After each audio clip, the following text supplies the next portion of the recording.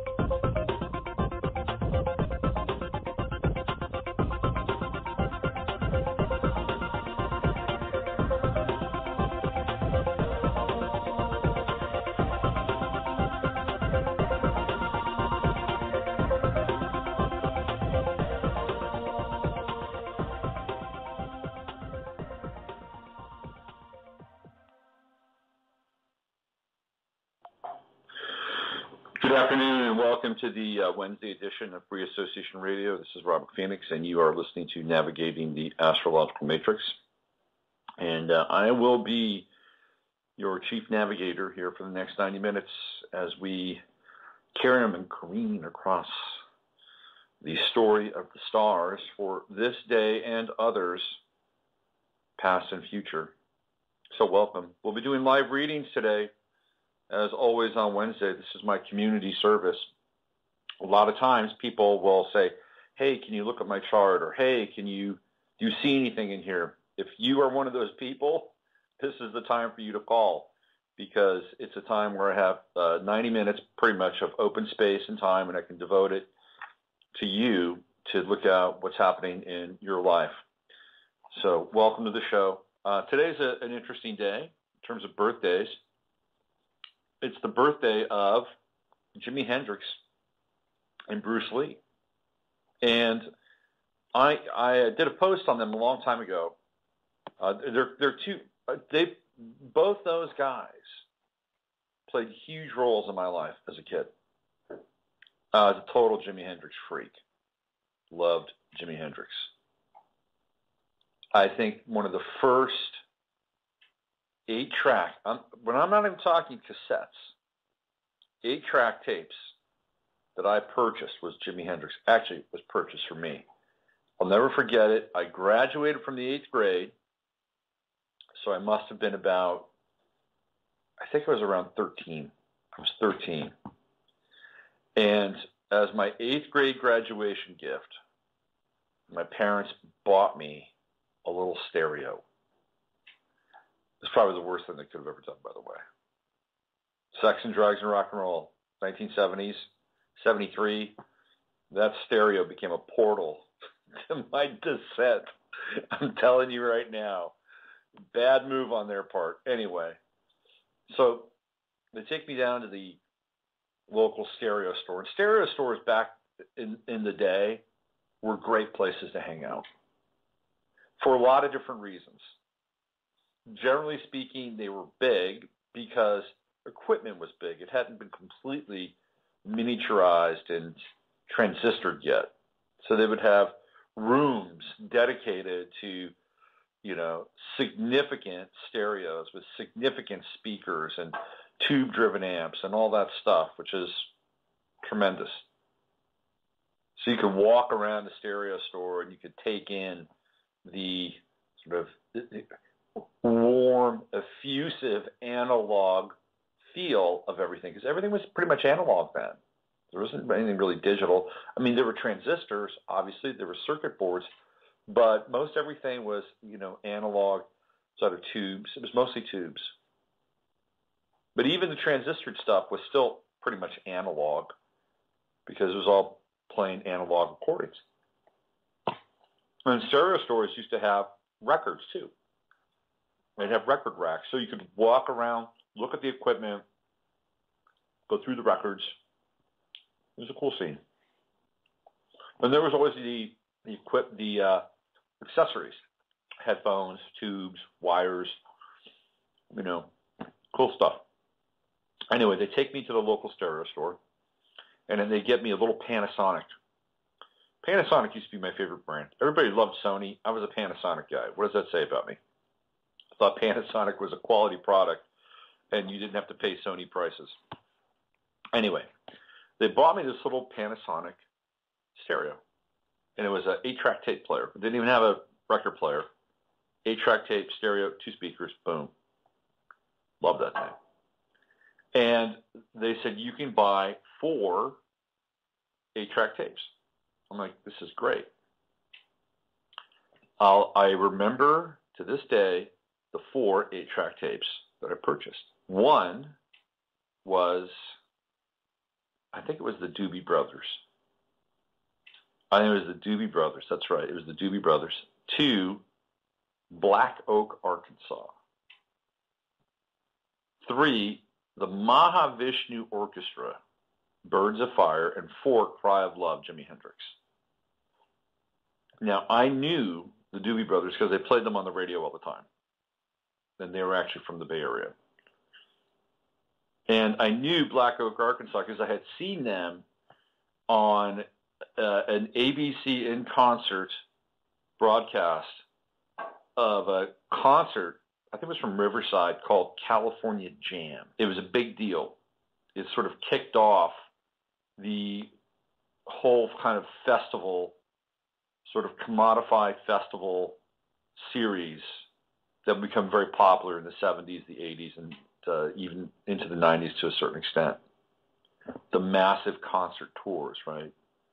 Day in the Green, you'd have all these bands coming into these massive stadiums where the sound was crap, but you got to see a lot of music. And California Jam sort of kicked that off anyway. Black Oak, Arkansas was on the show. And I loved uh, the song called Jim Dandy to the Rescue. I thought it was great. I bought their record, bought the, the eight-track cassette. Now, Mahavishnu Orchestra, I'd never heard before, but I loved the cover. And, it, and the, it was the Birds of Fire, and it looked great. And then I took it home and I plugged it in and put my headphones on. I had my head blown. It was John McLaughlin and Jan Hammer and all these, you know, guys used to play with Miles Davis doing this amazing jazz fusion. Blew my mind, changed my life forever. And then, of course, there was Hendrix' Cry of Love. And uh, which is not, it, it's actually a record released posthumously, but has some great Jimi Hendrix songs on it. So there was Hendrix, and of course Bruce Lee, I remember the first time I saw Bruce Lee, he it was at the drive-in theater, and my father was uh, both my father and I were really into martial arts, and so we saw Bruce Lee at the drive-in theater. It was great. It was, I believe, Fists of Fury, and the sound was dubbed. I didn't care. Some English guy, American guy was, you know, Bruce Lee's voice. I just knew that Bruce Lee was kick ass. And I used to watch him as a kid in the Green Hornet. So anyway, I wrote this piece about uh, Bruce Lee and Jimi Hendrix. Uh, this is a while ago. Um, what's the date stamp on this thing? This is November 28th, uh, 2010. So this is uh, three years ago. And the uh, title of this is Ass Kicker and Guitar Picker. I'm going to read you the whole thing. So we have 90 minutes, right? Nobody's on the phone. Nobody wants a reading yet. Do you mind? I don't think so. Okay, here we go. It's my show anyway. It says here, uh, yesterday, because I wrote it after the fact, remember that. Yesterday was the birthday of Bruce Lee and Jimi Hendrix, two significant ass-kicking culture heroes for me and millions of other kids from the 60s and 70s. Not only born on the same day, three years apart, they shared some other unique details regarding one another's lives. Both were one of five children. Both were troublemakers as, youth, as youths. Lee was a street fighter and Hendrix a joyrider. Essentially, what that means is Bruce Lee used to get into street fights in Hong Kong. He fought a lot. He was an angry young man, although he was also a dancer an actor. He had this very artistic side, but he was he also got into he in fact he got into trouble. He beat up the wrong kid in Hong Kong, and he had to leave. And Jimi Hendrix used to steal cars. He used to steal cars and drive them around. Both eventually gained popularity in countries other than their own. Lee in the USA and Hendrix in the UK. It's true. Jimi Hendrix became very popular in the United Kingdom. In fact, that's where he, you know, really kind of blew up. And Bruce Lee, of course, here in the United States. Both lived in Seattle. And both are basically buried there. Uh, so Lee, Bruce Lee is buried uh, in Seattle, and Jimi Hendrix in Renton, which is not far from Seattle. So they're both buried there. They both had two kids, one boy, one girl. It's true. Jimi Hendrix has a boy and a girl out of wedlock. Some people think that uh, what's that guy's name? Uh, Green. Uh, it'll come to me. Might be his actually be his son. Anyway, uh, both had two kids, one boy, one girl. Both had Nordic slash Caucasian mates. Uh, Monika Dannemann for Jimi Hendrix and Linda Lee for Bruce Lee. And yes, they knew each other. Both died under mysterious circumstances. But what we remember most about each of them is how they took their respective crafts to stratospheric heights. When Hendrix landed in London, Clapton and uh, in London, Clapton, Pete Townshend were both spellbound and terrified of Jimi's chops. The Who even refused to go on stage after Hendrix at Monterey Pop. With Lee, he was often chastised. Uh, okay, with Lee, he was often chastised by Chinese masters to not teach his craft to Americans. Lee refused to bow down and challenged masters to send someone over to his school in Oakland to settle it once and for all. Lee decimated the poor lout. From there, they began to innovate and extrapolate on their work. But as we look at their charts, we can see how each other was taking a different vector. Jimi had a tight stellium in Sag, Sun, Mercury, and Venus. Sun and Mercury took up residence at the edge of his 11th house, freedom loving and iconoclastic. Venus dipped into the 12th house, the house of source and mystery, the house where likely his last lover, Monika Dannemann, had some knowledge regarding the mystery of Jimi's death. Hendrix was likely killed by his manager, who was freaking out over the fact that Jimi was going to dump him. He'd rather sacrifice the cash cow than let it get away. This is this is the rumor, by the way. Uh, coroners found unusual amounts of wine soaked in Jimi's lungs. Never one for downers. They were forced down his throat with large amounts of wine. Hendrix eventually choked on his own vomit. Snuffing rock stars goes all the way back to Jesus. The royalties on Psalms were priceless. Jimi was just another sacrifice at the altar of Mammon. Buddy Holly took that dive, Brian Jones and Janis too, but I digress. Uh, Hendrix, with that wild sage in the House of the Future, was all about freedom, baby. Moon in Cancer conjunct Jupiter made him both sensitive and shy, though able to intuit and feel tidal waves of energy, oceans of space across the planes of time. In the seventh house, it made him an intuitive and generous love partner. Saturn conjunct Uranus and Pisces lent him some real discipline in getting his chops down. Saturn in the sixth and Uranus in the fifth. He worked hard at his craft. He was conven- he, he was unconventionally creative, flamboyant to the extreme. Of course, there is Pluto in Leo, like a golem in the eighth house. Fortunately for Jimi, it was in the service of his Sag stellium trining all three. What's amazing about Hendrix's chart is that from the Sun to Pluto, he has no squares, oppositions. Uh, he has no squares, oppositions, but zero squares. They do show up in his true node in Chiron. In fact, he has a crisis of squares in Chiron, as it squares that same Sag stellium, plus Uranus and Pisces.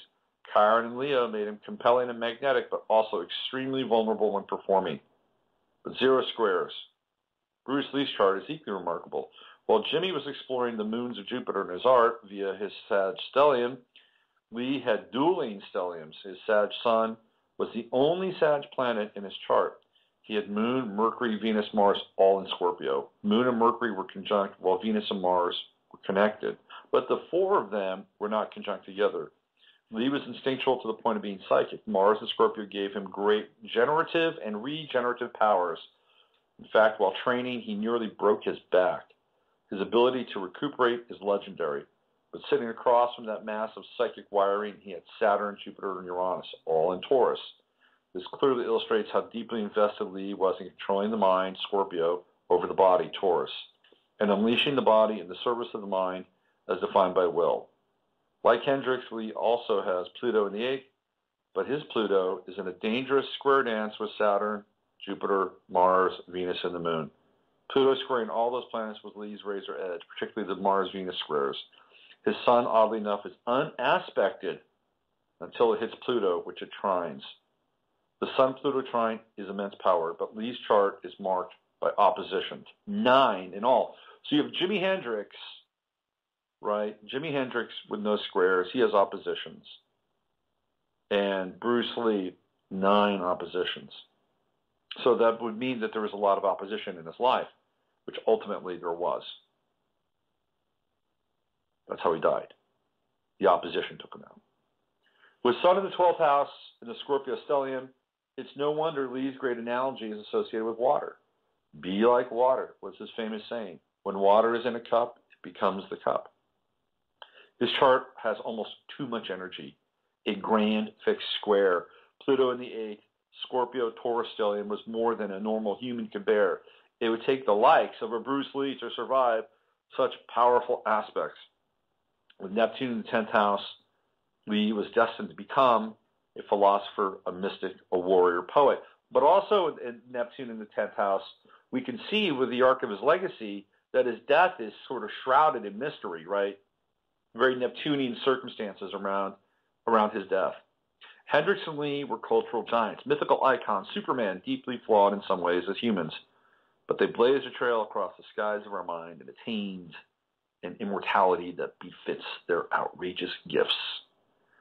So you can go to my website, robertphoenix.com, and you can look at their charts, which are fairly similar in some ways, fairly similar. So that all those uh, Scorpio planets in Lee's chart, well, some of them moved down into the 12th house because of the edge. They're right at the edge of the 11th and the 12th. But they both had Pluto in the 8th house. To me, that was really remarkable. Pluto in the 8th. And they both met with these really uh, strange, intense, unti- you know, consider it untimely, untimely deaths in some ways. Pluto in the eighth. Anybody that has Pluto in the eighth house, you are an intense person. Life for you is not a casual affair. Trust me. All right, so here we are. Uh, it is 111. Thank you for taking that little journey. Actually, I have 111. It's a 1218. Thank you for taking that little journey uh, into memory. So anyway, uh, where is everybody? Oh, there's a lot of people in the chat room. There's 13 people there. 13 people. Saw the gardener pop in. She was in here listening, doing her thing. Uh, today is also Caroline Kennedy's birthday, Sagittarius. Caroline Schlossberg Kennedy. You know, she's a uh, she, she's in the Obama administration. I think she's a, a diplomat or an ambassador to some other country. Uh, Sun at 5 degrees Sag, Moon 27, Virgo 18, Mercury Scorpio, Venus 19, Capricorn, Mars 24, Virgo, Jupiter 19, Cancer, Saturn 16, Scorpio, Uranus 8, Aries, Neptune 2, Pisces, Pluto 10, Capricorn, True Node 7, Scorpio, True Node moving backwards towards Libra, Chiron 9, Pisces. That's where we're at in the sky right now. So we move into Moon and Libra over the Thanksgiving holiday you know, I was in Facebook today and I just asked very quickly, what are people eating tomorrow? I'm interested. And some of the responses I got were fascinating. There are people that are fasting because they don't believe in the holiday or they don't believe in Thanksgiving or out of deference to the uh, the ancestors who were here that helped out the uh, the settlers. Completely understand that, by the way. I have no judgment about that. Some people are having pre-Fukushima fish. Some people are having. Uh, I haven't had anybody say they're having turkey yet. That has not come up. Nobody's having turkey. At least they are, but if they are, they haven't put it up there. So I myself, I'm probably going to have tamales. I'm going to be flying solo tomorrow. A strange, a strange thing, to be honest with you. Very strange thing. But hey, this is what happens when you uh, live. Well, this is what happens when Saturn is transiting your 12th house, which is what's happening for me. The whole notion and concept of being alone is uh, really starting to kind of reverberate through my consciousness. It, it's kind of intense in some ways, but I'm I'm I'm doing my best to get used to it. So anyway, tomorrow I will have tamales. I'm going to go find some Mexican restaurant somewhere that's open, and out of deference to the first people here, I will eat tamales, corn. That's what I will do. Let's see if there's any other interesting birthdays today. Who do we have? Don Adams from Get Smart. Today is his birthday. Paul Brunton. Today's Paul Brunton's birthday. He's an interesting guy. Uh, if you don't know about Paul Brunton, he was kind of one of these self-styled American wizard mages. He was an esotericist, author, yogi, um, mystic, he he had a uh, a relationship with what's that guy's name? He's a, a therapist, an American therapist. It says anyway. Paul Brunton was he was born in England in 1898, and he was kind of in that that style of mystic that Gurdjieff was. He was kind of a Gurdjieff um, sort of character.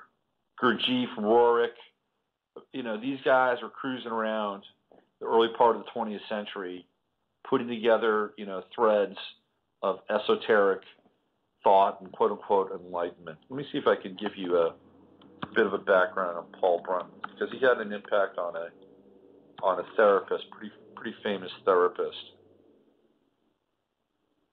Let's see if I can find this here. I'll read you his story. Let's see, here we go. Um, okay, here we go. Yes. I'll read you Paul Brunton's bio. Uh, he was born in London in 1898. His, his original name was Raphael Hurst. He was a bookseller and journalist. Uh, Brunton wrote under various pseudonyms, including Raphael Meridian or Meriden and Raphael Del Monte. Later he chose the pen name Brunton Paul, but for some reason, perhaps a printer's error, the names were reversed to Paul Brunton, a name that he kept.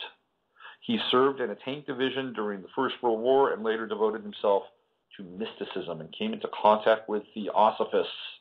So those theosophists, they're everywhere. Uh, being partner of an occult bookshop, the Atlantis Bookshop in Bloomsbury, Brunton came into contact with both the literary and occult British intelligentsia of the 1920s. This is a very big time, by the way, for mysticism. Huge. It's a huge wave of mysticism, and a lot, and a lot of it winds up in America. There were a number of American, there were a number of gurus that showed up in America right around that time, including Paramahansa Yogananda. Uh, in the early 1930s, Brunton embarked on a voyage to India which brought him into contact with such luminaries as Meher Baba, Sri Shankaracharya of Kanch, uh, Kanchipuram, and Sri Ramana Maharshi. Those are the T, uh, Maharshi is the TM guy. When Brunton met Shank, met the Shankaracharya, uh, of Kanchipuram, he was directed to meet Sri Ramana. Brunton's first visit to Sri Ramana's ashram took place in 1931. During this visit, Brunton was accompanied by a Buddhist uh, bhikshu, formerly a military officer, but meanwhile known as Swami Prajananda. So we have uh, a military officer who's now a Swami. The founder of the English ashram in Rangoon, Brunton asked several questions, including, what is the way to God realization? And Maharshi said, Vichara, asking yourself the who am I? Inquiry into the nature of yourself. Brunton has been credited with introducing Ramana Maharshi to the West through his books A Search in Secret India and The Secret Path. One day, sitting with Ramana Maharshi, Brunton had an experience with Steve Taylor names, an experience of genuine enlightenment, which changed him forever. Brunton describes it in the following way I find myself outside the rim of world consciousness. The planet has so far harbored me, the planet which has so far harbored me disappears. I, in the midst of an ocean of blazing light. The latter I feel rather than think is the primeval stuff out of which worlds are created, the first state of matter. It stretches away into untellable infinite space, incredibly live.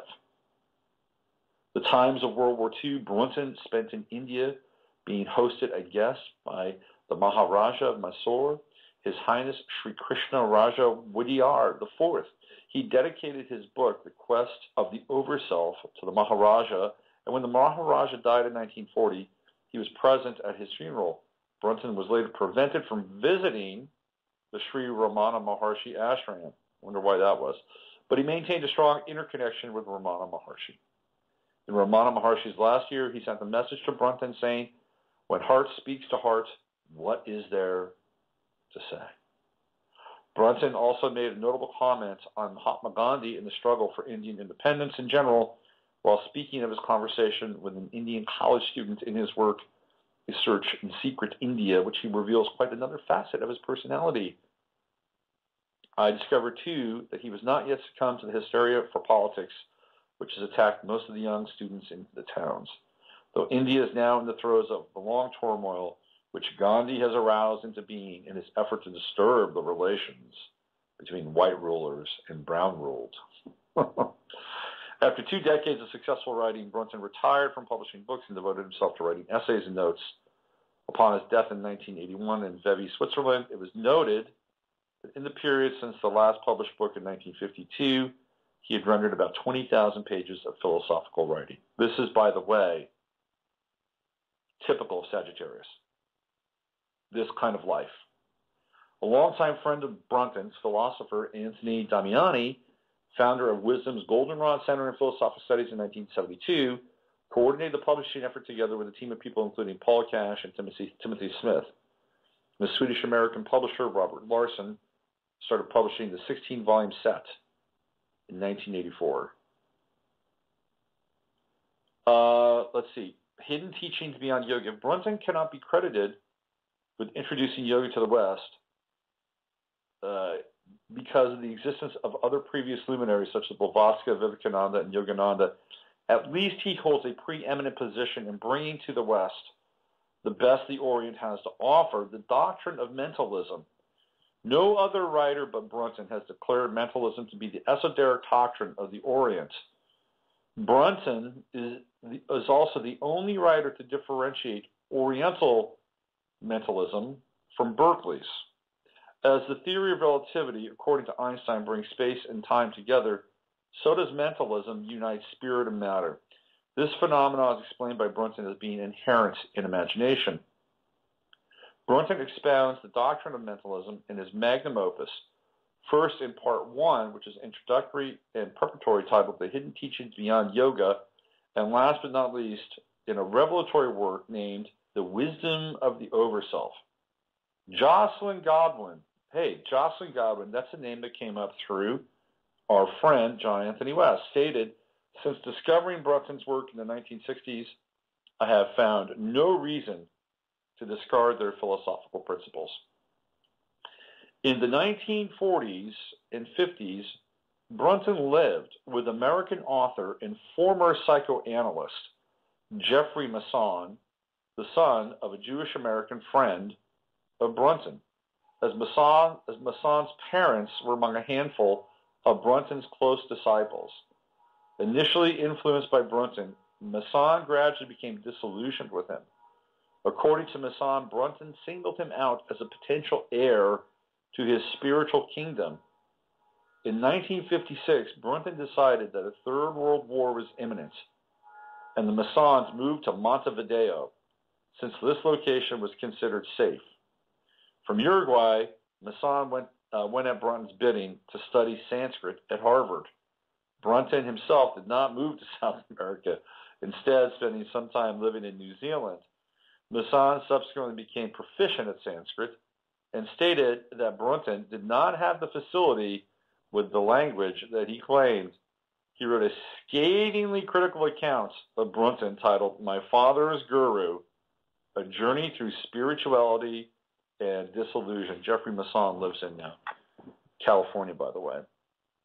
So there are some details of the life of Paul Brunton, also born today, very Sagittarian, I believe. Let me find my way back to the show page so I can get in here. Where did the show page go? Okay, here we go. Let's see. Keep moving here, moving, moving. Okay, let's see. Here we go. All right. We're back in the show page. Let's take a call. Hello there. Hello? Hi. Hello? You're on the air. Hey, Robert, it's Beverly. Hey, what's happening, Beverly? oh my God, I feel like all hell is breaking loose in, in some ways And part of um, areas of my world. And I thought, wow, if ever I needed to get some insight, it's like right now. So I just called in. It's the first time I'm calling in. All right. Well, hey, uh, welcome. this is it's kind of like in this context, right? Like I have to kind of what? treat you as a guest, right? And you're not really. Yeah. You're not really a guest. Beverly is a, a, a dear, dear friend who I have known since uh, 19, I believe, 94, right? Yeah. Yes, definitely. So Beverly, we're going on 20 years now. That's a long time, Robert. Does that freak you out a little bit? 20 years? Yes, it actually does because it just happened so quickly. It's it's amazing. I mean, I yeah, I'm pretty much freaked out by that uh, idea. Twenty years have gone by. I pretty much feel the same, though lots of things have changed. So Beverly, Beverly uh, and I met at, at a Whole Life Expo, and I was giving a, a talk on ambient music, and she was in the audience listening to me give this talk about ambient music, and then.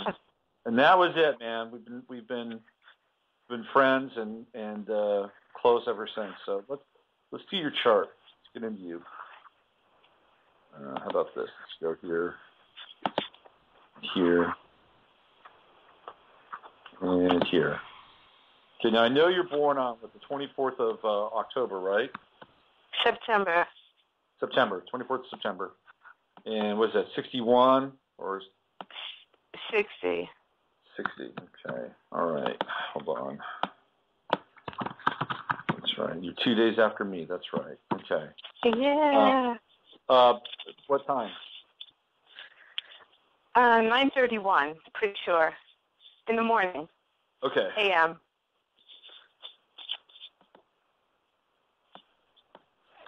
Okay. And uh, was that New York? Yes. Um, Bayshore, New York. Oh, boy. Let's see. Hold on. This. Feels good to be on your show, Robert. This is so wild. I know. It's the first time you've called, huh? It is, yeah. it Oh. is. Okay. Here we go. Let's, I got you punched up here, looking at your chart. There you are in all your glory. Your Scorpio rising glory with the Scorpio moon. right? That's you, right? That's me. Yep. I seem to have forgotten you had a Scorpio moon. Well, that makes sense now. Um, okay, so looking at your chart, I think the big the big thing right now is Saturn, right? Saturn's right on your moon. We, I just did the, uh, the shout outs to where the planets are, and Saturn is directly on your moon. And it's where you you know you've got the Saturn Uranus square, which um, is happening for a lot of people born born with Pluto and Leo, and it's a tricky square because you know it's hitting us with this sense of real intense restlessness, frustration, limitation, and it's kind of hard to work out and work through. Um, so you've got that going on, and Uranus is up in your tenth house. So you've got to have to you have to deal with Uranus, and Uranus in the tenth house is like, you know, it's change. It's also the sign of astrology, by the way, up in the tenth house. So you are you are kind of struggling with um, dealing with that Uranus, Uranus in the tenth. How do you how do you radicalize? How do you liberate? How do you free yourself up in what you're doing? Right. That's what exactly. Saturn, Saturn is tried and true. Saturn is you've done this, you've done this, you've done this, you've done this. That this isn't really working anymore. But but because of the square, you're you, it's not like if it's a trine, you just step into the trine and you go, wow, this is new, this is cool, this is groovy, I love it. You know, I'm doing this. The Saturn square is much more dynamic. There's like this push and pull. Should I let it go? Should I stay? Should I let it go? Should I stay? Do I move on? Do I hold on? You know, that's the Saturn Uranus square. And you have to somehow bridge that gap between uh, innovating and recreating your career and your work and and sort of the tried and true methodology that you have been uh, have been employing for quite a while. The other big challenge for you is it's in the first house, and so you've become identified in some way with what you do. And I know what you do, and you probably have all kinds of connections and all kinds of uh, friends and people that you go to, you know, meet at all these trade shows all around the world. It's really become what you've been doing has become sort of wrapped up in your identity to some extent. And I'm not saying it's the totality of who you are, but it, it is it's a large part of kind of what you projected into a certain part of your world. But that has to you have to resolve that, and so it's not an easy uh, resolution. It's almost like lifting weights. Squares are like lifting weights. You know, you work and then you get burned out and you have muscle fatigue and then you get new muscle. You work, you get burned out, you have muscle fatigue, and you get new muscle. That, by the way, might be an interesting thing for you to get into is actually lifting weights, working out, working out the square through physicality. And it's interesting because you're also dealing with that frustration, and working out would also help you deal with that frustration. Um, now, right. On the moon can be a lot of different things. Now, one of the things that you might also be going through is you might actually be going through some kind of uh, change hormonally with Saturn on your moon, uh, especially in the first house, and dealing with things like you know, procreation, um, you know, maybe entering into a phase where that might be ending, all that Saturn moon stuff. It would also hit you with your mom, responsibilities with your mom, you know, um, sort of the, the whole kind of uh, matriarchal lineage that's also on your moon. Um, is this making sense? Yeah, incredibly. Yeah. There's also. I mean, it's right on. It's right on the nose yeah, with everything also, around um, identity and career and uh, struggling and uh, desiring to shift out of it, not happening quick enough. Um, I need to make changes. I need to work that out. And I really get the analogy with the weights. It really, really, really uh, makes sense. And uh, yes, so you're, you're hitting it right on the nail. So I don't understand one thing though. Um, how long is is the square going to be in effect? Is it a long term thing? Because pretty much uh, all hell broke loose for me yesterday, and I'm kind of you know at a choice point, I would say, and I'm happy to be here. This is not new information. And you know, I feel I feel like um, there's this whole other world waiting for me. And as much as, as I, you know, have at times prided myself on being, um, you know, uh, unafraid to go in, in, you know, very different directions and, um, you know, likely di- directions, I feel a little hesitation here. And I don't know if that's because of the the square going on or what, or it's a new Yeah. identity. It's interesting. Yeah, I think I think a part of it has to do with the square, um, because you're dealing with something new, which is Uranus, versus something old, which is Saturn, right? And by the end of the year, Saturn will be at 20 degrees in Scorpio. So you, so you you had your Saturn crisis. Whatever whatever the hell that broke loose, that's the Saturn crisis. But now you have to deal with it, right? Now Yeah. You have to deal so um, the other thing too is you know you've got you've got Saturn also in the third house, and uh, that's natally right, eleven degrees. But I, you know it's been a while since I've looked at your chart, and um, man, it's like it's amazing how close your chart is to my chart. Obviously, uh, obviously you're two days apart, but uh, you've got the the only thing different about your chart is is the moon. Really, everything else is pretty much lined up, and the sun, uh, but not much though. Um, but you have Saturn in the third house, and that is, you know, communication, sharing ideas, uh, writing, you know, all those things. And Pluto is going to be on your Saturn uh, next year, and very, very quickly, actually, right around February, March of next year.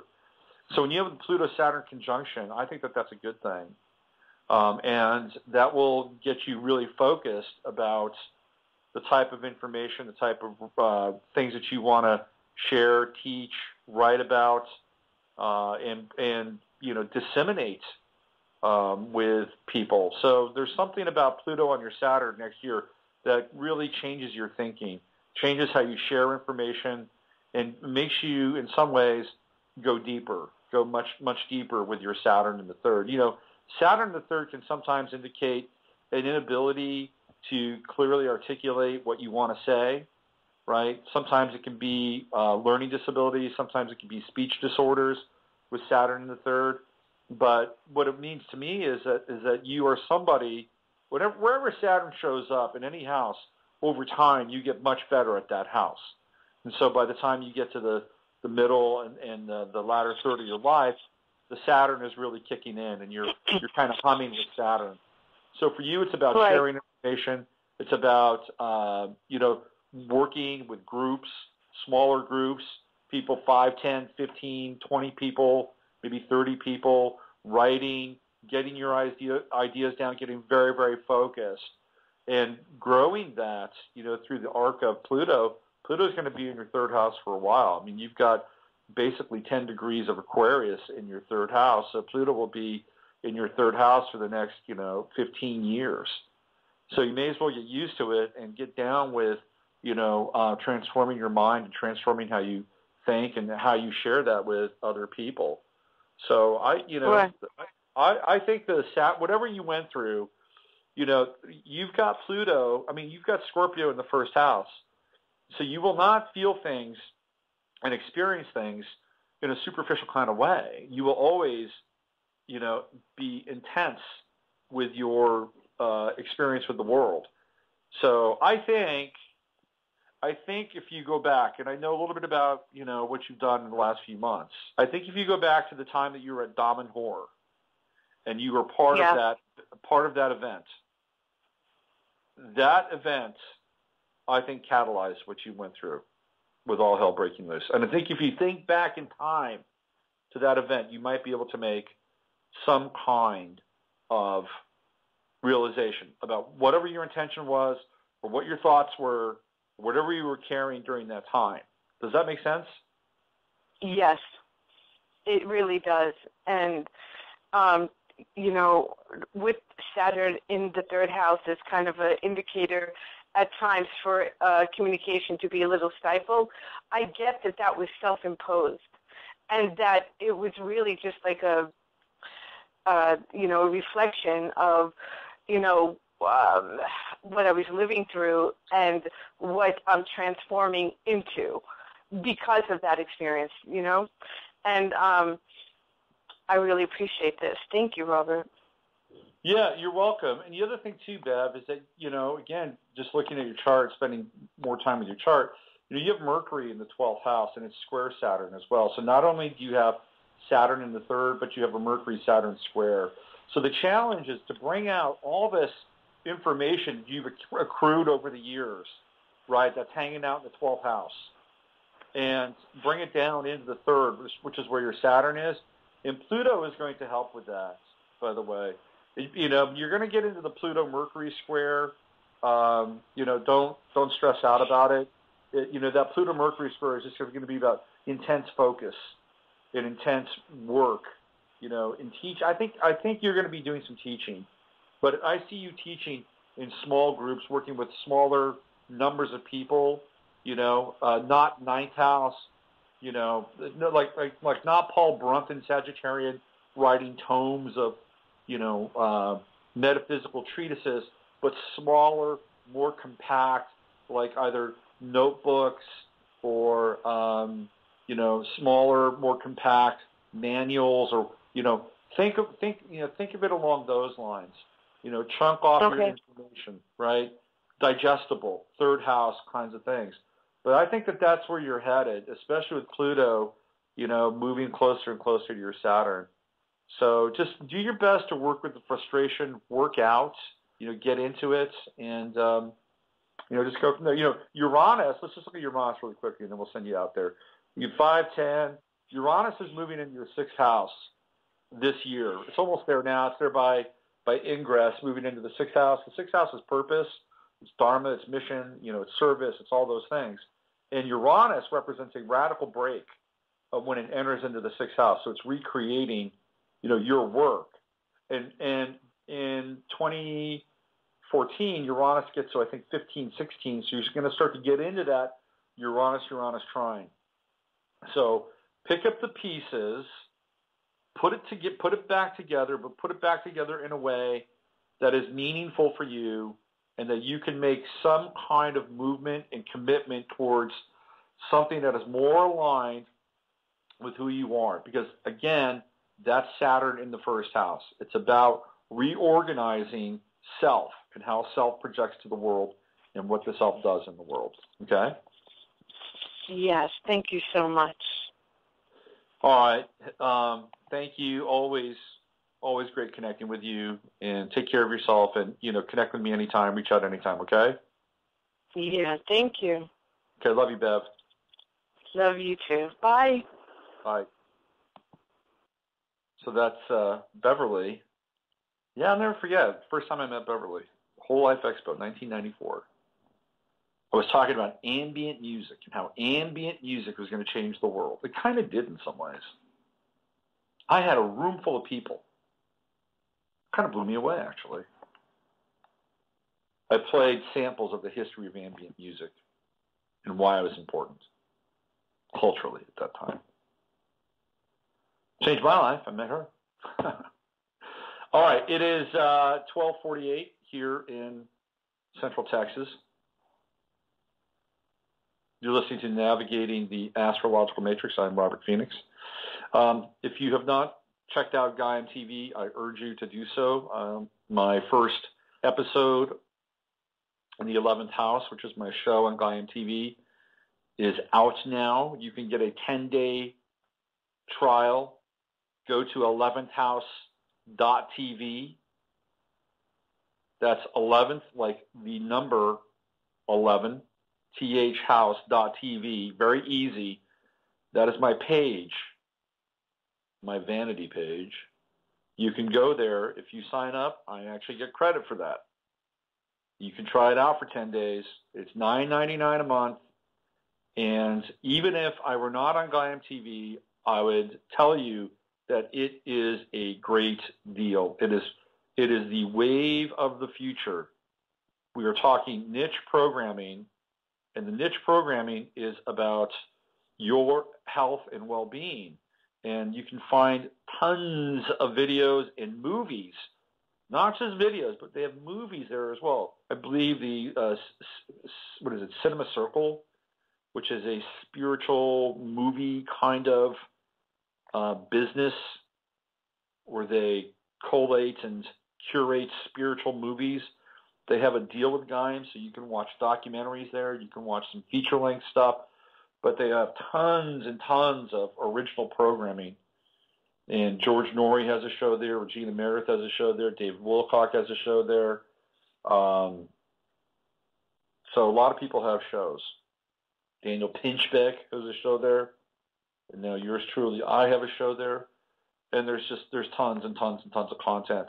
And they've got everything from health related material, Mike Mike Adams, the health ranger, to really uh, you know, kind of new agey, more new agey, kind of oneness, universal universal consciousness stuff. You can find that there.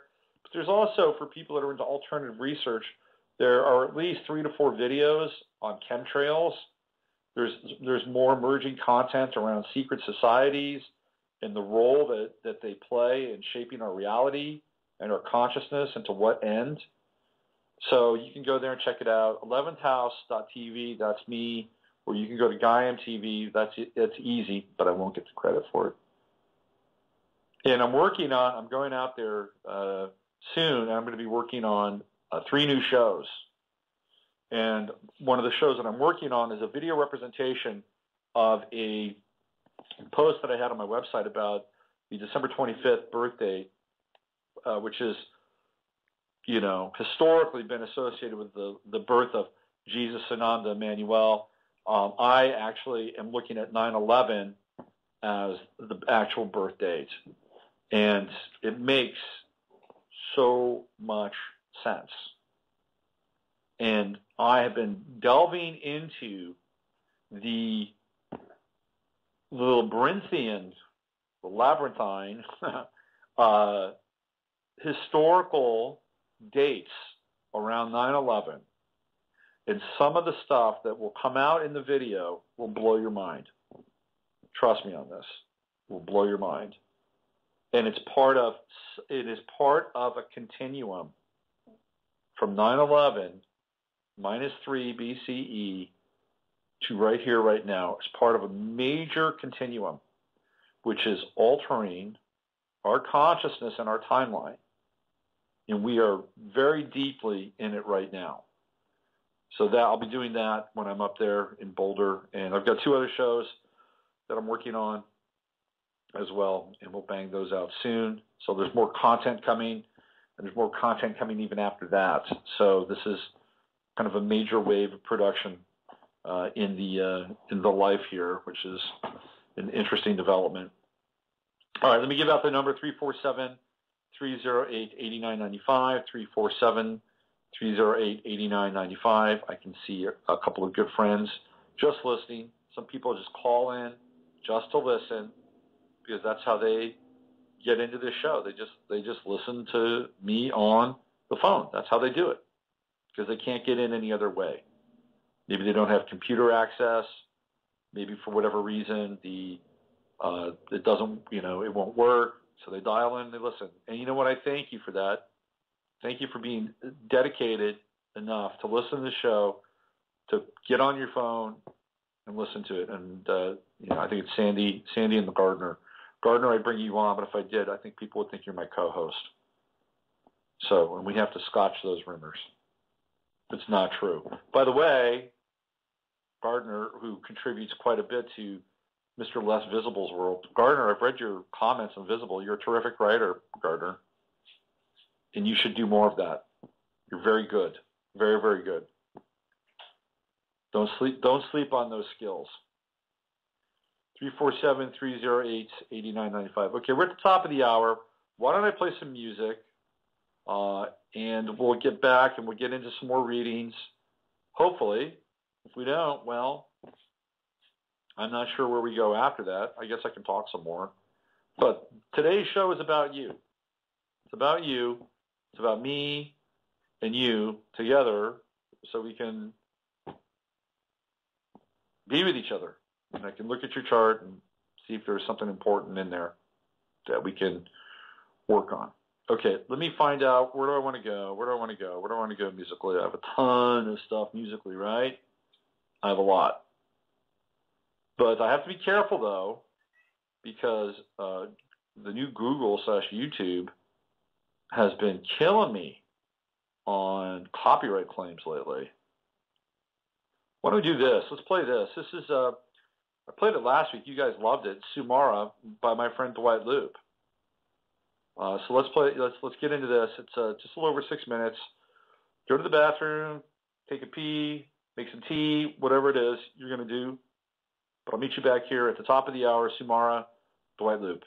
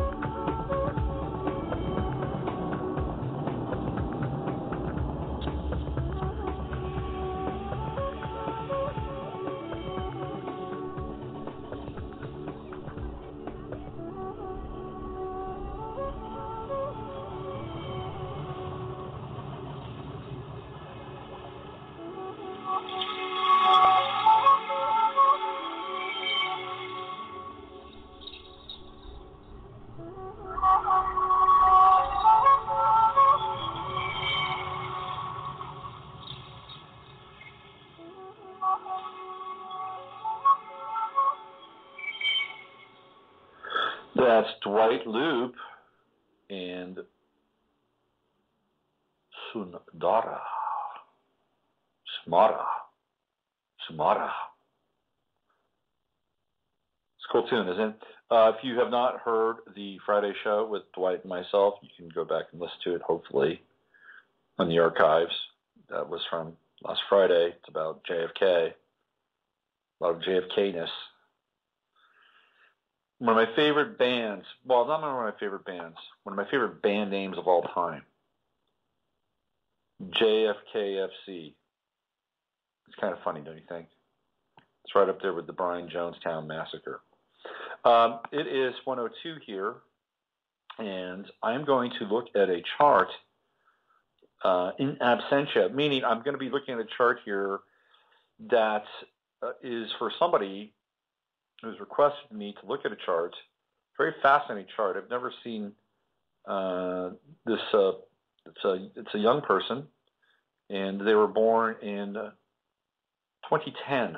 So February 13th, 2010 and there is a very uh, intense concentration of Aquarius in the eighth house here, with also essentially two sort of uh, transposed or superimposed yods. You know, I was on uh, Nicholas Campion's site last night doing some reading, and he basically does not ascribe to this the notion of the yod he doesn't really think it has a lot of significance. Um, I tend to. I'm not. I'm not. I'm not taking issue with him. He's a very, he's an extremely brilliant astrologer. But uh, it was just an interesting take on on the yod. So we're looking at a stellium in Aquarius. Now, anytime you get into eighth house material, it is very difficult to access at some point in time the identity of the person or aspects of the identity with that person in the eighth house. And I just I know this from experience and having people in my life with eighth house planets. You cannot always see the totality of who they are. It will it will emerge um, over time, getting to know them. So as a mother looking at this chart, your child's personality will be something that will be a bit of a mystery at times, but it will always come out in unique ways. It, so um, this child is an iconoclast, complete iconoclast, will follow the beat of his own drummer. He does have Jupiter and Pisces, which is very nice and Venus there too as well. So that stellium with the with the, the moon, the sun, and Chiron, and Neptune. Um, that's very potent. The Sun Moon conjunction. This is the this is the hidden story behind the parenting, right? This is the hidden story behind mother and father. And that is part of the eighth house as well. There's a chironic wound conjunct the sun. So there's kind of a Hemingway-esque relationship with father here in the eighth house. It's the search for father, actually. That's what that it will take up a part of um, his life and part of his identity. Finding finding that aspect of father, uh, and it will make him different. It will set him apart in some ways from everybody else. Now, he will have an experience a close relationship between a mother and a father figure in his life, but it will not be apparent or not be seen to the world in the way that the world normally views these things. Um, he will not channel emotion the same way as other kids do. He will be very objective up to a point. He can be he, he can be detached to a point. But after after a certain amount of oversaturation or frustration, the emotions will come up, and they will come up in an explosive fashion. Um, I love the Venus Jupiter conjunction. Very loving, very kind, very compassionate. But he's not a wallflower, not with Leo rising, not with Mars on the ascendant, not with the Mars Uranus trine. He's forward thinking. Uranus in the ninth house exposes him to a lot of different ideas and beliefs early on in life. Uh, the Mars Uranus trine gives him uh, actually an ability to, to be very successful at sports. So I would encourage uh, sports, especially activity with Mars in Leo on the first house, on the ascendant. Maybe combining sports with theater, sports or drama, circus training, things like that. You know, new circus stuff like Cirque du Soleil or something along those lines. He might be quite good at. But he needs to burn off that energy. He can have a bit of a temper with that Mars Mercury opposition. You know, and those are fixed signs. They're both in fixed signs, so he can have a bit of a temper. He is a transformer. He is here to transform people, transform their lives. Pluto in the sixth house. He's a healer. Very, very deep, profound. He has potential to be a very deep and profound healer. And with True Node in the sixth house in Capricorn, he needs to rise to a level of not just proficiency, but uh, management and overseeing um, large operations and working with people at a high level. But that's over a period of time. True Node in uh, the sixth house, and even with Pluto there to some extent, um, means that in some ways he'll get an early start in life. What I mean by that is, is that he will have um, a powerful focus in terms of kind of who he is and where he wants to go. And he'll dedicate himself towards that. Uh, 20 is uh, a very important year for him. 20 is an important year. 20 is when things really um, sort of take off. He's going to have the Pluto uh, true node conjunction. That'll happen in about uh, six to seven years. Uh, Saturn, he's got that Saturn in the third house. We talked about that a little earlier. Um, he will not do well. Here we go. He will not do well with traditional schooling. He will rebel with traditional schooling. That's Saturn opposing Uranus. He will be antsy. He will not like people telling him what to do or what to think, especially with all that Aquarius in the uh, in the eighth house, and also Mercury in Aquarius. He's going to think for himself. You know, this is somebody you're not going to be able to tell what to do. Luckily, he does not have the traits of a sociopath, in which case you'd be in trouble. Venus and Jupiter, very nice, brings compassion, brings love, tenderness into his life. Uh, does, uh, so he's got Pluto and True Node. Those are his only Earth signs. So he will know himself through work. He will ground himself and sort of uh, retain his residency on this planet through work and working hard he might become a bit of a workaholic somewhere down the line. Uh, love and relationship is important, but only when somebody meets him in a mental space with his ideas. Communicating and sharing ideas is very important. Now, he has a nice trine to Saturn, which means he has uh, Mercury is exalted in Aquarius, and the trine to Saturn means that he has good powers, of concentration, good focus, but he will not, he will not dig. He will not dig public school, or I guess they call it private school in England. So there you go. There is the overview for that chart. Um, that's uh, that's that's how I see it. Martial arts would be good for him as well. Combination of martial arts, gymnastics, acrobatics, circus work, maybe even some, you know, what do they play over there? Soccer, football, things like that. So there you go. Um, you're welcome. You're welcome. You're welcome. You're welcome. It is 111 111. 111 111.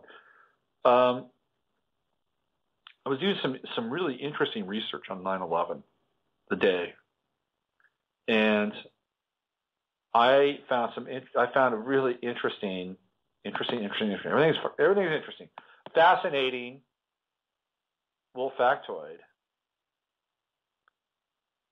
it has to do with Mamie Van Doren. Okay, I somehow got into Mamie Van Doren. I don't know how I got there last night. Oh, okay, I know how I got there. I was watching a movie, White Heat. I was watching White Heat on Turner Movie Classics or Turner Classics Movie, whatever they call it. And there is a, a guy in that movie. Is it, is it White Heat? Is that, is that the guy? No, no, no. Hold on. What movie was that? It was. Uh, no, it, yeah, it was White Heat. White Heat. There's a guy in that movie who plays a gangster, and uh, Jimmy Cagney kills him. His name is Steve Cochran. And uh, Steve Cochran, I looked him up, and I found out that he was one of Mamie Van Doren's lovers. And then I went to Mamie Van Doren. Mamie Van Doren was this uh, blonde bombshell. She was Marilyn Monroe, Jayne Mansfield, Mamie Van Doren. They were the big three at that time in in Hollywood. Mamie Van Doren is was a notorious. What word would I use? It would be it would be the the same word we would use for like a, a you know a a dog for a man. Mamie Van Doren loved sex, and she had affairs with everybody everybody. And there was a, a, a bit about Mamie Van Doren being at the Whiskey A Go Go in 1964, and she was there with Jayne Mansfield, and the Beatles were there. The Beatles were at the Whiskey A Go Go in 1964 to hang out with Jayne Mansfield. What's that all about? Of course, Jayne Mansfield was a key member of the Church of Satan. The Church of Satan, right? Anton LaVey, Mansfield, Marilyn Monroe, Sammy Davis Jr., all these all these people, very strong ties with Anton LaVey and the Church of Satan. By the way, I went to I went to school with Anton LaVey's niece. Junior high school. She showed me a paperback and I'll never forget this. It was it was the Book of Satan or Satan's Bible or whatever it was. It was LaVey's book. And I saw the name Anton LaVey. She said, "This is my uncle." I'm like, "Oh, really? Interesting." So anyway, the Beatles are there hanging out with Marilyn uh, Jayne Mansfield at the Whiskey A Go Go, and I and I but I there's a there's a, a guy on uh, Facebook, Steven. I hope to get him on my show one of these days. Steven has the most thorough knowledge of the Beatles and PID, aka Paul is Dead, Plastic Macca, all that stuff. Steven's got it. He knows this stuff inside out. So when I told him, hey man, did you know that the Beatles were at the Whiskey A Go Go in 1964, hanging out with Jayne Mansfield? Did you know that? He says, oh yeah, I knew that. And the rumor is is that John Lennon uh, pissed in her drink How about that? So not only did he know that, but he also had a little pun not intended topper on that. Anyway, fascinating stuff, man. You get into these rabbit holes sometimes and you just find the weirdest, weirdest thing. I'll tell you one other interesting factoid about 9-11, the day. I can't tell everything. You have to see the video. But there's some incredibly fascinating stuff around twins in twin events on 9/11 throughout history. And um, one of the events that I found fascinating was in 1850. There was a singer by the name of Jenny Lind, and she was known as the Swedish Nightingale. She was an opera singer. She came to the United States and performed for the first time in 1850 on 9/11 and I believe it was uh, 2011, Anna Lindh, L-I-N-D-H, who was the PM of Sweden at that time, was stabbed and killed. Very strange death, by the way. So you have these two Linds, both Swedish, both having significant sort of moments on on 9/11. Fa- fascinating. And there's more. Trust me, there's a lot more in this but you'll have to watch the video. Um, okay, uh, we are at uh, 117. I'm going to put out the call one more time. 347-308-8995, 347-308-8995. Call in. One other thing for the mystery chart, with all that stuff in the eighth house, you have to watch out for uh, nightmares. Nightmares, intense dreams. He'll process a great deal of his life, and not just his life, but reality, this matrix reality, he will process through his dreams. So encourage him to talk about his dreams. Um, they're very powerful dreams. He's a profound dreamer. Um, allow him to do that. And the more he talks about it, the less he'll be afraid of them. Okay? There you go. That's uh, that's it. Um, 118. One more time. Here we go. Um, 347 308 8995. That's the number to call in. Have your chart read. Get all massaged. This is what I would call a psychic massage. A psychic massage. I can psychically massage you by reading your chart. How does that sound? Just get on the chair, get on the table. Uh, well, let's see. We've got some interesting shows coming up. I believe on the 6th of December, uh, I'm going to have Andrew Norton Weber on. And Andrew Norton Weber is one of the kind of preeminent people on water. We're going to be doing a show on hexagonal water and water in general. Um, Andrew Norton Weber, some of you may know who he is. Um, he's going to get it, he's going to be on here. I'm going to try to get somebody from Langenberg again. We had Philip on last time, and we get somebody from Langenberg to join in and talk about water. It's important. It's the most important thing on the planet, without a doubt, hands down. Water is the medium. So that's going to be on December 6th. And I'm also going to be interviewing, um, let me see if I can come up with his name here and say it correctly. This is uh, going to be an interesting show. Hold on here. Let me find the. Okay. I'll just. Uh, pyramids. Hold on. Let me see if I can figure this out because I want to say his name correctly. Um, his name is Dr. Samir uh, Osmanagic. Samir Osmanagic. He's just down the down the freeway uh, in Houston, and he is the founder of the Bosnian Archaeological Park, and he has found pyramids in Bosnia. The mystery of Bosnians, Bosnia's uh, ancient pyramids. He's a contemporary. He's he's 49, and he's been in Texas for the last 16 years. I'm going to be interviewing him uh, next week, and I am probably going to have him on.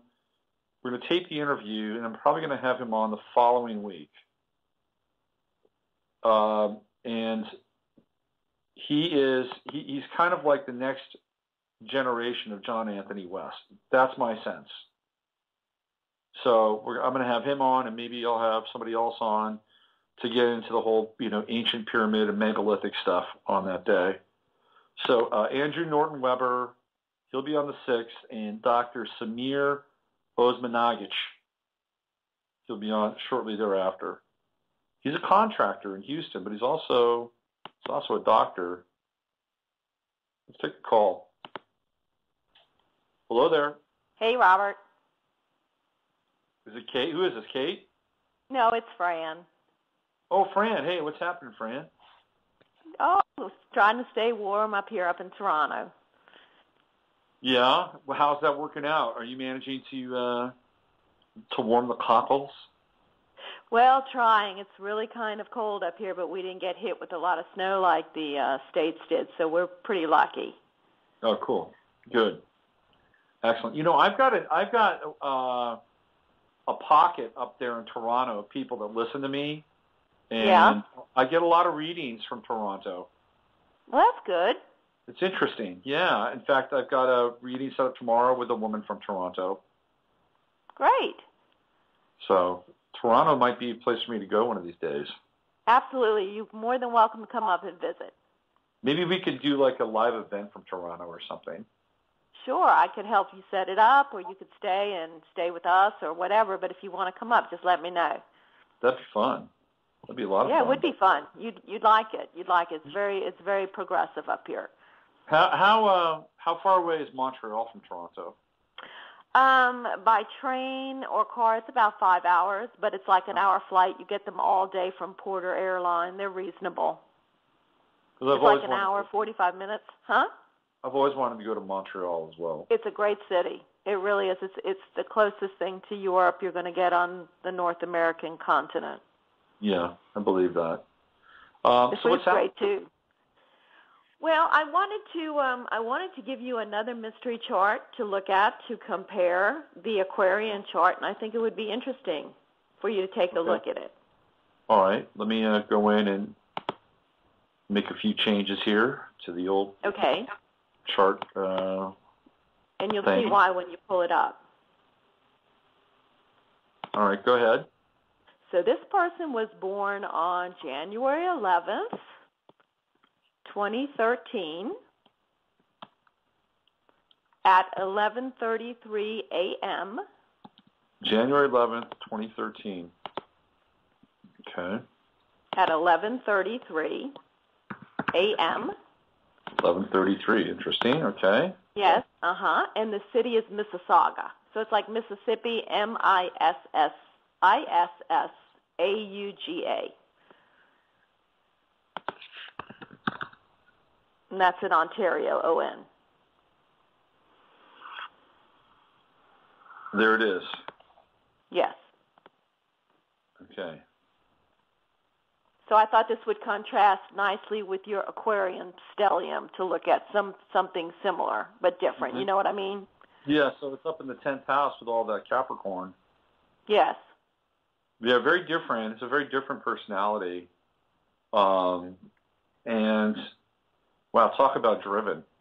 This will Mhm. be this will be someone who has intense, extreme focus, knows their mission early on in life.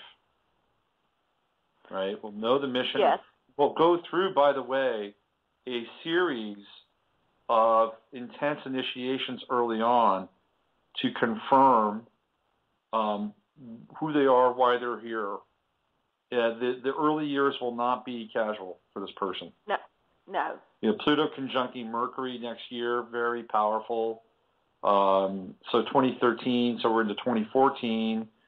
Um, so that's like first first language, you know, 1st Mhm. you know first words, but they will be unusual. They'll be they'll be like uh, advanced, very advanced. You know, either that or the possibility that they may not talk at all. One of those two. Okay. It Right. will, ei- it will either be when are they going? When when is this? Is this a boy? It's a boy. Yes. So when is when is he going to talk? It will either Right. be when is he going to talk, or oh my God, how did he string those three words together Right. so early? It'll be one of those two things. right. Um, in 24, 2015, 2015, Pluto gets close. It's 2015, 2016. That's the Pluto Mercury conjunction, close in 2014, closer in 2015. But the Pluto Moon conjunction is very powerful Right. at that point in time. Um, you know, it's a little, it's not, you know, anytime you get up to Pluto Moon, it is not, it is not trivial or inconsequential, Right. and that can mean anything from uh, separation from the mother. Right. Uh, and but what's what's interesting here is that just like the other chart, you have the Sun Moon conjunction. Right. That's why I brought means- it up. Yeah, which means there's a close connection between the mother and the father. Right. But in the other chart, it was hidden. There was a mystery around that. In this chart, there's not Right. much of a mystery. Both the mother and the father will play a role in terms of shaping this uh, child and this being's consciousness in terms of what it does. But that Pluto Moon conjunction could be anything from maybe going to school for the first time and having to peel off from mother, and that could be sort of traumatizing in some ways Right. or you know, and I, I don't like to get into dark predictive models, but Right. it certainly um, looks like a very intense connection to the maternal figure at a young age, in Right. one in one that really um, alters um, the emotional sort of uh, uh, chronometer for Right. for for a lifetime, really. And then the same Yes. thing happens with the father later on, though, much later.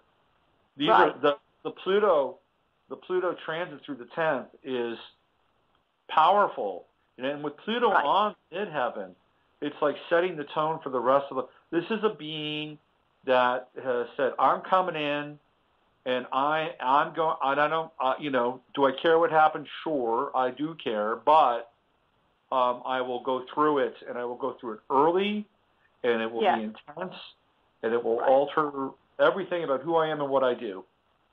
Do you, do you see this person because we're dealing with Capricorn? So we also know Capricorn can also be a ruthless sign. Do you see this person as an enlightened person, the potential for enlightened, or, or more of a ruthless person with this It could go house? Could go. That's what way. I say too. Okay, Yeah. so let me let me throw something in. His sun is exact on my moon. Uh huh. So I have moon Capricorn at 21. Right. His, his moon again is my moon, okay, and his moon is conjunct my husband's moon. So this is a friend of ours' child, and they're very different in terms of she's Russian. This is actually this is the one we went for the baptism. Okay. Yeah. So Uh, we're almost out of time here, so I'm just going to continue Yeah. to talk to you a bit, Fran. But I just Sure. want to tell, I wish want uh, want to wish everybody who celebrates these things uh, to have a wonderful Thanksgiving and uh, give thanks for who you are, what you are, and who you have, and what you have in your life, and what you can share with other people.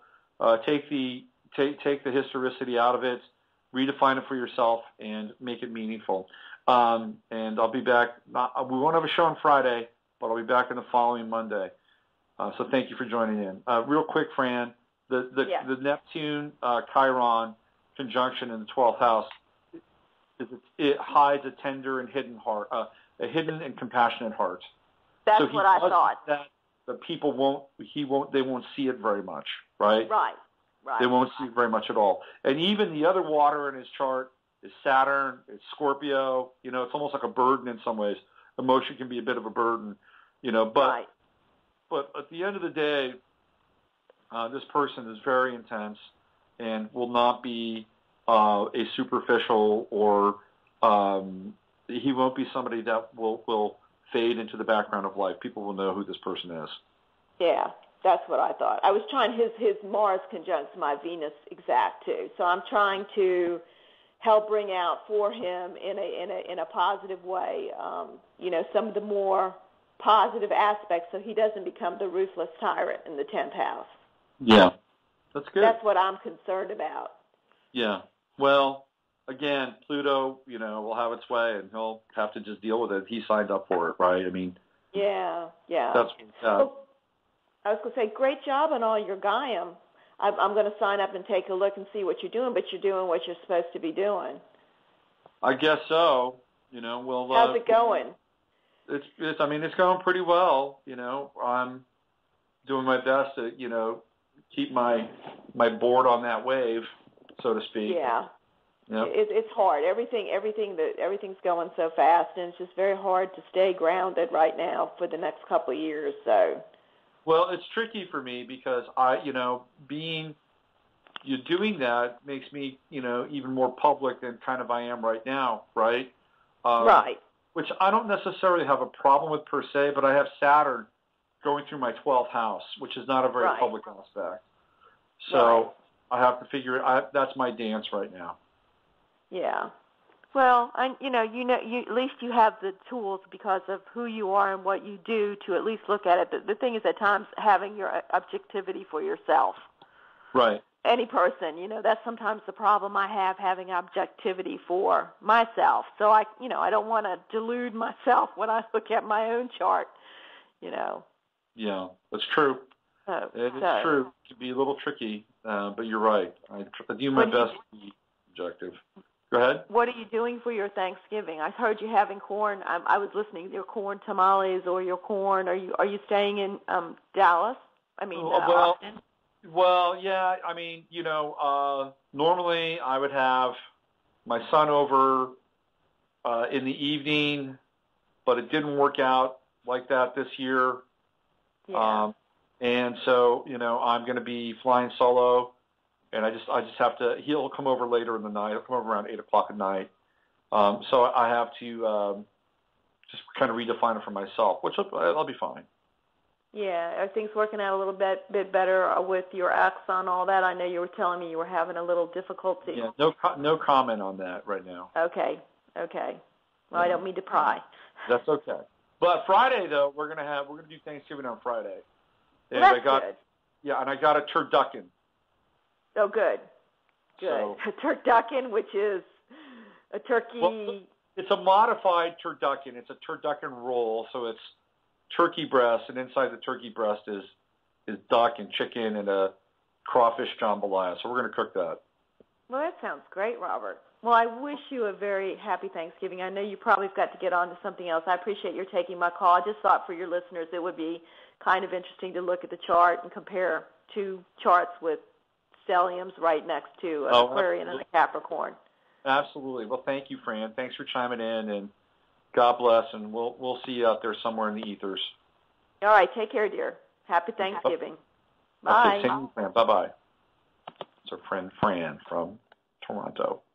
All right, that's it. We've reached the end of the show. I'll be back on Monday with the uh, the mashup. No Farcast on Friday. Taking the day off. You know the drill. Use your head to discern what's real. Your heart to stay open to what's possible. This is Robert Phoenix. Uh, again, uh, have a great Thanksgiving defined on your own terms. I'll see you on Monday. We are living in a computer programmed reality, and the only clue we have to it is when some variable is changed and some alteration in our reality occurs. We would have the overwhelming impression that we were reliving the present, deja vu, perhaps in precisely the same way, hearing the same words, saying the same words. I submit that these impressions are valid and significant, and I will even say this. Such an impression is a clue that at some past time point, a variable was changed, reprogrammed as it were, and that because of this, an alternative world branched off.